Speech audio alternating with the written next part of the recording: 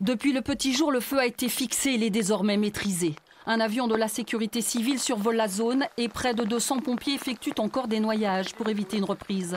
Au plus fort de la nuit, ils ont été 315 à lutter contre les flammes.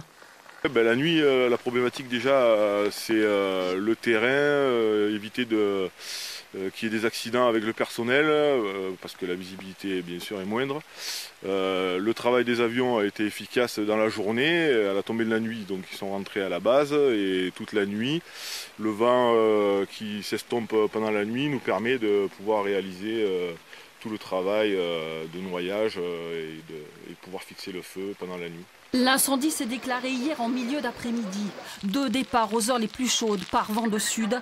Sur un terrain très sec constitué essentiellement de pinèdes, les flammes se sont rapidement propagées. Le terrain est escarpé, difficile d'accès, avec du combustible, hein, puisque tout ce qui est pain, épines, etc. est quelque chose qui rebondit.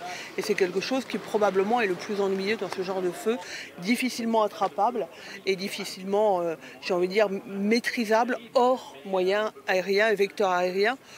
Deux Dash 8 Canadair ont réalisé une soixantaine de largages. Au sol, de nombreux moyens terrestres ont été engagés. Des pompiers de la Drôme, du Gard et du Vaucluse sont venus en renfort.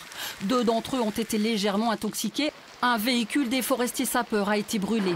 Ce matin, des vacanciers qui avaient été évacués à titre préventif ont pu rejoindre leur camping. Une enquête a été ouverte pour déterminer l'origine de l'incendie.